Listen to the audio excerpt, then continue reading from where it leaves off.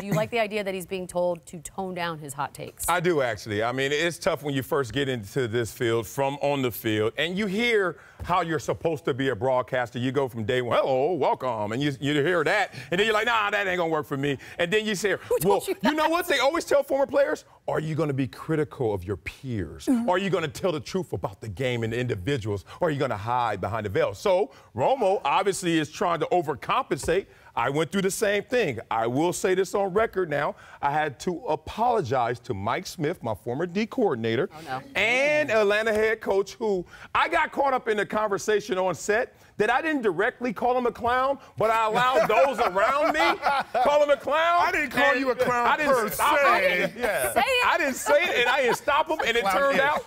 Headline: Marcellus Wiley called former coordinator a clown, and I was like, "Oh no, that's not what I meant." But I was a rookie, like Romo's a rookie. It's good that they're trying to calibrate him. I, I think this is a matter, if it was a journalist and they're talking about a news story, then that's totally fine. But this is entertainment at the end of the day. Their group is made for entertainment. And what you want to do is give the fans just enough to say, okay, that's that's insightful, but not alienate people that you want to be guests and eventually come and actually interact with you. That's a really delicate balance between the two. Again, if it was pure journalism, I would fire. be appalled. But this is about entertainment. But he's and I a totally color get it. analyst. Don't you want it kind of down the middle? I want I was, scoop. I was so excited for Tony Romo to go into media because I thought that maybe we could go through a day without talking about Tony Romo because I was in the oh, media. And now here he is. Now we're still talking about him as a media analyst. I wonder Hasn't how this information yet. got out. Huh. That's what. Huh. I wonder how he this- said it.